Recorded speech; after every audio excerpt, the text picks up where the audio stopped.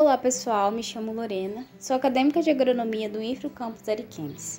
O vídeo que estou aqui apresentando faz parte do programa Fito no Campo e tem como objetivo trazer informações e orientar a todos sobre a monilíase, uma doença de plantas muito severa. A monilíase é uma doença fúngica causada pelo fungo Monilioptera roheri.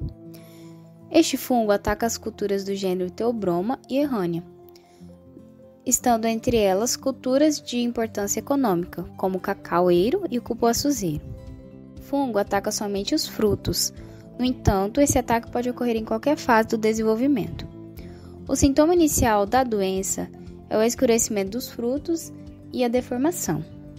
A partir de poucos dias, ocorre a formação de uma grande quantidade de pó branco, que são os esporos do fungo, sendo essa característica que diferencia essa doença da vassoura de bruxa. O primeiro relato da doença foi no Equador, no ano de 1917.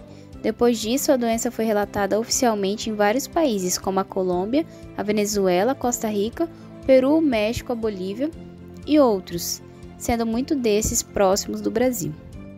Não havia relatos no país, recentemente foi detectado em cacaueiros e cupuaçuzeiros em um pomar no, urbano no estado do Acre, na cidade de Cruzeiro do Sul.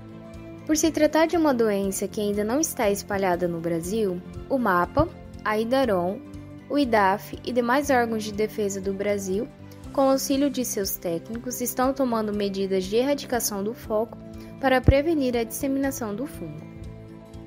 Por esse motivo, a IDARON adverte que ao encontrar frutos de cacau e cupuaçu com sintomas suspeitos de monilise, é indicado que não mexa nos frutos, isole a área para evitar a entrada de pessoas e contate a Idaron imediatamente por meio do telefone 0800 643 4337 ou vá até o escritório local.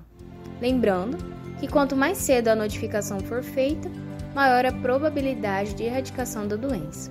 Por isso, colabore com os órgãos de defesa do nosso país. Diga não à monilise e ajude os órgãos responsáveis no combate a essa doença.